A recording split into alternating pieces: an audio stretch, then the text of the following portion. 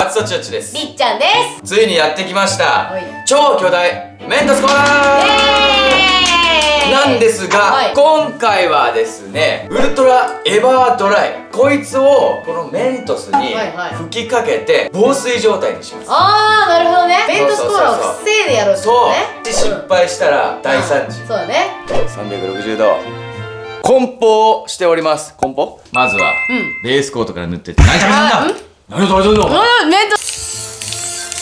メントスコーティング終了いたしました、次にコーラを入れていくよ。あの時の恐怖が俺は蘇る。何が怖いんだよ。何をビビってんの？何ビビってんのやっちゃう怖くない？タタじゃあ早速うん。っていきましょう。はい。俺が引く、うメントス入る俺蓋閉めるスリッチは傘つく。はいくーさかかさくいきます！はい！スリーツーワン。ゴー！ほっほっほっほっほっほっほっほっほっほっほっほっほっはいええおおおおおおおおおお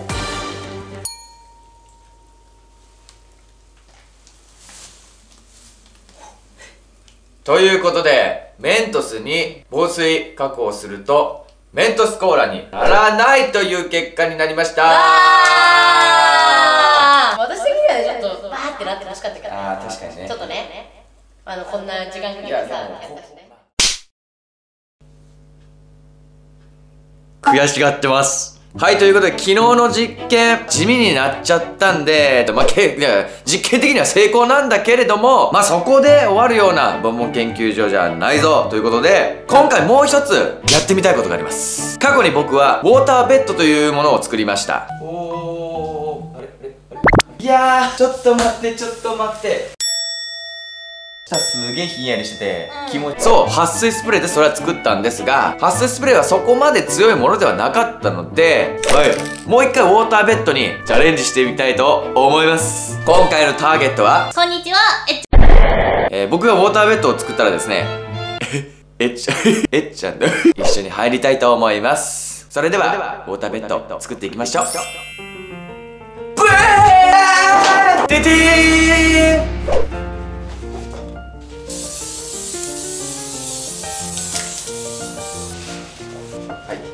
弾いた水はどこに行くかというと真ん中に行きます。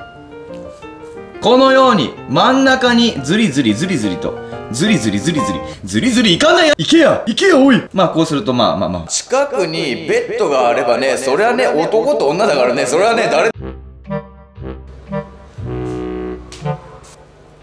まあえっちゃんもこの美貌なこの完璧なボディをもってすればイチコロです。あー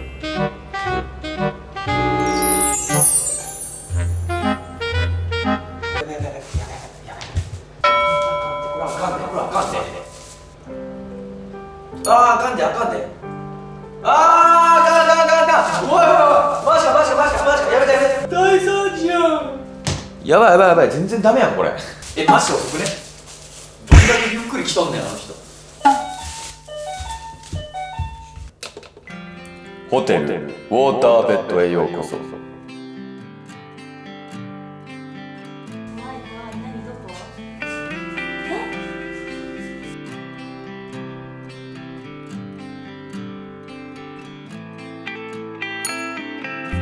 っす。じゃない。うっす。うっす。おいろいろやばいっす。じゃあ早速えーと脱いでいただいてなんかちょっとテカテカしてるねえ。えちょっと後ろ向いてて。後ろ向くの確かに後ろ向いてて。脱ぐからあ脱ぐからあ目がちょっと痛いなこれ脱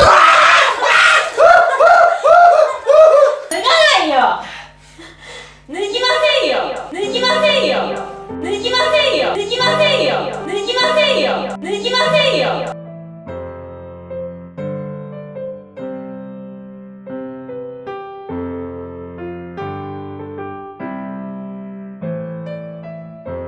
ウォーターベッドまたもやちょっと失敗してしまいました。紙じゃなければいけたかもね。あの撥水する部分をうん。太くすればちょっといけたかもね。この後えゆっくりえちゃんとゆっくり入りたいと。それではこの動画が面白かったら高評価チャンネル登録よろしくお願いします。それでは皆さんまたお会いしましょう。またねー。またねー。まだボンボン TV をチャンネル登録してない方はここのロゴを押して